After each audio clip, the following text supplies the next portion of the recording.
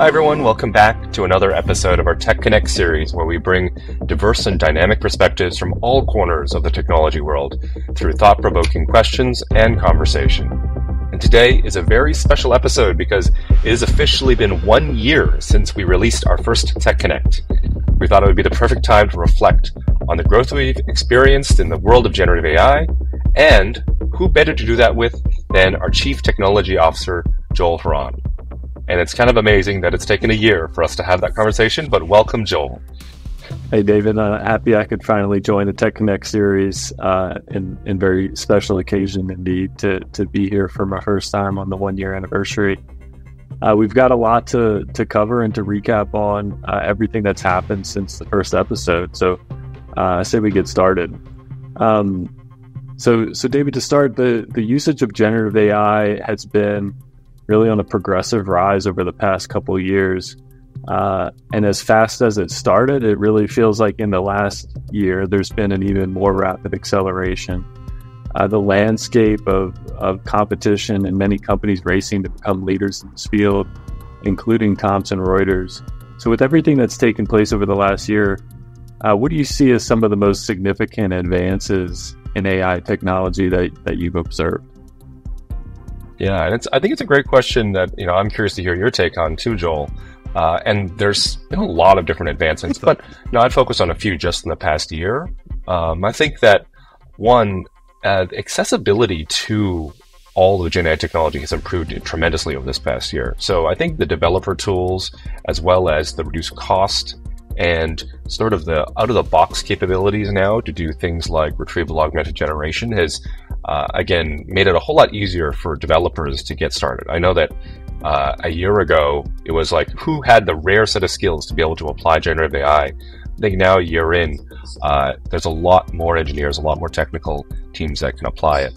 You know, getting into the models themselves. I mean, uh, there's been a lot of talk in the marketplace, you know, around things like multimodal and long context and things like that. And I just think of this as a general theme that that the models keep on getting better, that they continue to impress, and there's more and more capability. And you know, uh, maybe just to zoom in on one, I'm particularly excited about the ability uh, for models to have longer context windows, which means that they have this longer uh, ability to, to keep lots of information in short-term memory and answer uh, ever more complex questions. And that's critical for the way that TR uses a lot of these models.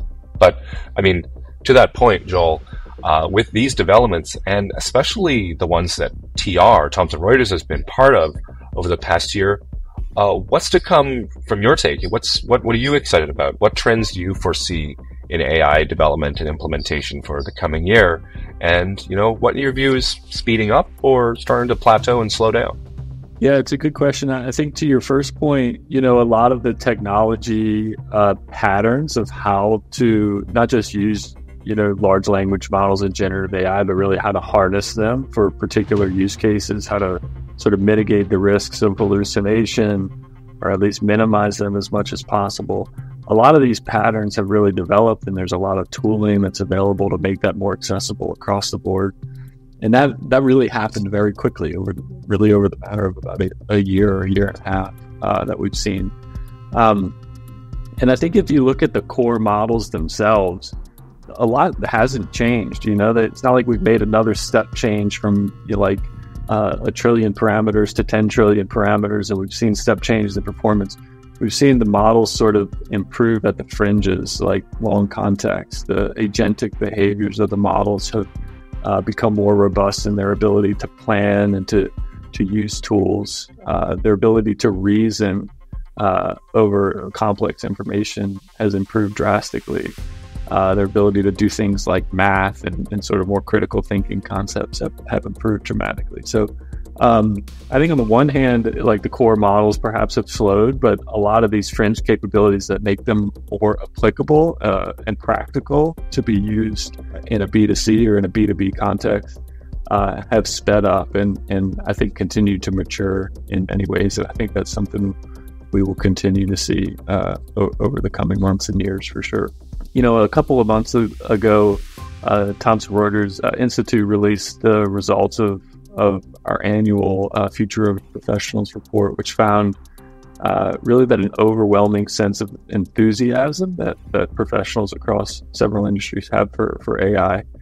And one of the things we uncovered was that Gen AI solutions, particularly for legal and tax and compliance sectors, uh, were among some of the most widely adopted categories of professional grade AI applications to date.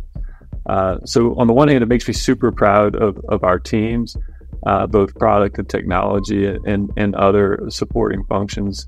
Uh, and the products that we've released that have addressed customers' needs in these areas, enabling them to, to save time and money while, while focusing on, on higher value and higher quality work.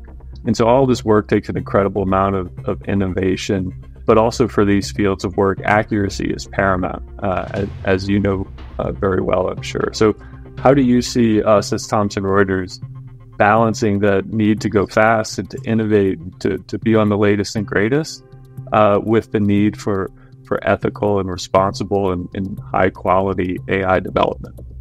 And you mentioned, you know, when you're you're sharing a little bit around the future professionals work, this idea about professional grade AI. I think that's one place that I start, and I've talked about this before, where you know at Thomson Reuters we believe that we're we're best positioned to create professional grade AI. And what we've spoken about on professional grade AI is that it is grounded, grounded in fact and data, that it is measurable, so you can understand the quality, whether or not something is at a 99% accuracy rate or a 90% accuracy rate. Makes a big difference in the amount of trust and checking you need to do. Uh, and then, of course, that it's secure and then private and ethical. Uh, so I think that you know is a is a starting place, and we have uh, a philosophy and that we have principles around how we're thinking about the development of the product. And then, of course, there is then sort of the, the mechanisms and process where at Thomson Reuters we have ethical and responsible AI principles, but we also have uh, a number of compliance processes to make sure that when we're developing our products, we take them through privacy review, model review, data use review, legal review, etc. And you know that's something that a company like TR, Thomson Reuters, were able to do because we have the scale and some of the infrastructure to do that. And so that also, again, I think helps us to balance that innovation. So you know we focus on the customer, understand what their needs are, try to deliver against their uh, biggest, hardest problems that they want us to solve. But we do that again with both a philosophy and a process that I think helps to strike a balance there. Let me switch gears. Before becoming our chief technology officer, you were uh, at the head of our Thomson Reuters Labs team. And that team, it delivered a remarkable number of generative AI products. Uh, in last month's episode, I spoke with Leanne Blanchfield, our head of editorial at Thomson Reuters, and she referred to the accuracy and the rigor that goes behind our content and the human element incorporated into curating and bolstering the quality of that data. So in your in your work, how does our human-centric approach to AI development differentiate our solutions? Yeah, it's it's a great question, and I'd say our human expertise at Thomson Reuters and the level of rigor and quality we put behind our content and and our products for years uh, has really been a, a, cornerstone of, of our brand and our products for many many years. And I would say AI and generative AI are uh, no different than that at all. Um, in fact, I think I think one of the you know most challenging things with with AI is from from from a user perspective. Most uh, users, whether they be attorneys, tax professionals, or or any other type of user, uh, really doesn't care about the technology behind the application. They actually they don't even care that it's AI in the first place. You know, they they just expect it to sort of work in the way they need it to to to facilitate whatever um, job or, or, work process they're they're trying to do. And so, you know, from an end user perspective, needing to understand a language model and all of its constraints and where it works well and where it doesn't work well and how it needs to be sort of prompted or interrogated to get to a right answer is not something that you know most people care to to really learn and become experts at. And I would say that that is really, I think, the marriage of our technologists and, and our human expertise internally is to bring those two groups of people together to enforce how, how a tax professional or how a legal professional thinks about this problem with how the model needs to behave in order to solve that problem in a direct way. And that is really only done um, uh, through a process by which we can we can try things out on the technology side and have high quality uh, human uh, expertise, like reviewing and providing feedback on those answers in a very continuous and fluid way. And that's how, at the end of the day, we, we build great solutions for our customers. Uh, it is through a lot of hard work and a lot of hard yards gained through those those iterations between technology and and domain experts. And I think that that's something that, like I said before, has been a cornerstone of, of what we've done for many years, and, and is something that uh, is extremely important with with AI as well. So, so David, while AI and tech has evolved over the past year, uh, Thomson Reuters has really embraced this change and has made tremendous investments uh, to help our customers streamline those workflows with our products and and AI. Reflecting over the past year, our teams have, have been hard at work, and a few milestone products really come to mind. Uh, AI assisted research on, on Westlaw Precision, CoCounsel Core, and, and the internationalization of CoCounsel Core, uh, expanding to countries like Canada and Australia.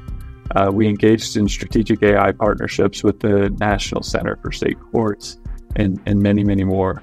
So, can you talk about, uh, from your perspective, some of the more momentous occasions for Thomson Reuters in, in the world of generative AI and what you've been hearing from customers throughout that journey? Yeah, and you, you named a number of the big ones already. Uh, but just to build on your previous point that you're you're raising around the humans in the loop, I just wanted to you know, completely agree with that.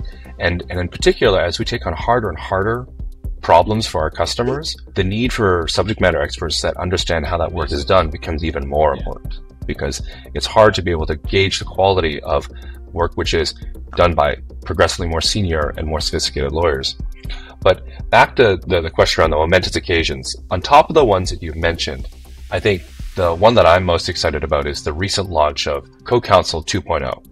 And the reason why is because it has been the culmination of work that our teams, both the ex Casetext folks and our Thomson Reuters AI teams, working together over the past year to build a consistent single AI assistant for our customers. And so that's a vision we shared uh, earlier in 2024. We shared it in you know, about the March April timeframe, and I'm really excited that we're we're bringing that to life. Uh, and that means that it is a single AI assistant that is available throughout our applications as well as in the standalone CoCounsel web interface. And again, has a broad set of capabilities that is like, again, a member of your team you can delegate material work to. And so I think it's a great example of how our teams have been able to come together to do more. We've helped the CoCounsel and the Casetext teams to grow faster, to be able to deliver for our customers. And so uh, that I'm excited about and customers, from what I've heard, are pretty excited about it too. They love the vision of this integrated single AI assistant. I think it brings together a lot of the strengths that Thomson Reuters has because we have this broad diversity of products, but our customers often said it's hard to find where to get started. Uh, we have so many different solutions that it's hard to, to discover what's the right solution. And CoCounsel helps to, again, remove that friction, helps you to point you in the right direction, help to show how our content, our software, how our AI can help customers complete uh, their work. And so again, it's a, great example of how we've been able to work together uh, with uh, the Casetext team. You know, I'm excited about what we're going to be doing uh, in other parts of our business. And so on that theme, this month uh, we also announced the exciting acquisition of Materia, which is an AI assistant and platform which is designed for tax, accounting, and audit professionals. So the momentum really doesn't stop around here. So, Joel, can you tell us a little bit about what this acquisition of Materia means for Thomson Reuters? And what do you see as some of their differentiating technology that uh, we can bring to our customers? Yeah, so uh, I would say first, um, if nothing else, it is a reinforcement of our belief in AI assistance being in the hands of every professional. Uh, for one, I would say it's a reinforcement to our commitment around AI across our entire product portfolio. Um, but beyond that, uh, and, and specifically to Materia, I think to the conversation we were having earlier, like the models having evolved and their capabilities improving in certain dimensions like long context, uh, multimodality, agentic behavior, and and I think Materia's done a good job of really leaning into these capabilities that have evolved, and, and specifically around their use of uh, the agentic behavior of, of large language models. You know, uh, tax and audit really lend themselves to very workflow oriented tasks, yes. and and um, and the technology, when used in that way, is is I think really proficient at those kinds of skills and capabilities. Um, but beyond the technology itself, I think they really tailored that into an experience that is purpose built uh, for audit professionals and tax professionals uh, in that area. And I think that's the the sort of last mile of technology delivery that's super important uh, in in a B two B space, and and certainly in a in a, a, a, space like like in tax or in legal or otherwise, uh, is really tailoring how how that uh, technology is used and how it shows up in the workflow and use cases uh, that are being done in, in, that particular instance. And I think the experience that that uh, Materia have built in that is something that uh, we're really excited to to take and, and, continue to build on. Just just like you mentioned, we did uh, with Casetext and uh, the CoCounsel platform as well. So you spoke about about Casetext, and, and we just talked about Materia, and, and certainly uh, that momentum and innovation with this latest acquisition. So we're, we're showing no signs of, of slowing down or, or, taking our foot off the gas here. So, so my last question for you is uh, how you see Thomson Reuters playing a role in this competitive landscape. Uh, how are we going to supercharge the pace of our innovation through the use of generative AI beyond what we have already done uh, to date. Yeah, and you know, it's funny. I, I, probably could have asked the same question of you, Joel. like, like because I yeah. think that that a lot of it is about the way that we work together um, between our product, our design, our editorial content teams, and our engineers and our data scientists and the technology teams behind everything we're building. And so it's I know it's been a, a topic conversation we've been actively actively engaged on. I think a lot of it has to do with I think our pace of experimentation uh, and making it so that we have more teams that are able to ship and to build uh, in all parts of our business. So another reason why CoCounsel 2.0 and the execution around this fully integrated assistant, I think is so important is because in the, in the back of all this, the technology underneath it, it allows more and more teams to be using one set of platforms and one set of technology, which they can all ship into. And that I think makes it so that we can have more people, more teams experimenting, and ideally shorten the time that it takes to get from a customer idea into proofs of concepts and ultimately features, skills, and new capabilities within our Gen AI product. So I think that's one, just more experimentation, broader experimentation across uh, across our teams. I think the other thing that I'm really excited about is evolving the way that we work with our customers there's been, at least at, at Thomson Reuters, a huge emphasis right now on our customer success and how we make those teams as much part of you know our customer success as it is our product and our technology success. Uh, I think that having a really tight loop between customer feedback and emerging needs from our customers to our product and our engineering teams is going to be critical for the future so that we can again identify the right things to be innovating on not only moving fast to, to execute and deliver. So just two two broad themes that I would I would share on again that that pace of experimentation and then the the speed and the tight feedback loop between our customers and our, our product and engineering teams. Joel, we've, we've, we've talked about quite a lot today, uh, and it's been a real pleasure to have you on for our special one year anniversary episode of TechConnect. Um, I'm glad we could take a take a look back, a little stroll down memory lane on our uh, our accomplishments uh, and I'm I'm super excited uh, for the future that we have ahead of us. So. Uh, thank you again for, for joining us here today. I hope we can have more of these conversations. It's been fun. Uh, and to, to everybody listening in, thank you for uh, for joining us and for following uh, the TechConnect series. We will see you again soon on the next episode and for the next year and years ahead of TechConnect and all the work we're doing here at Thomson Reuters. So thank you.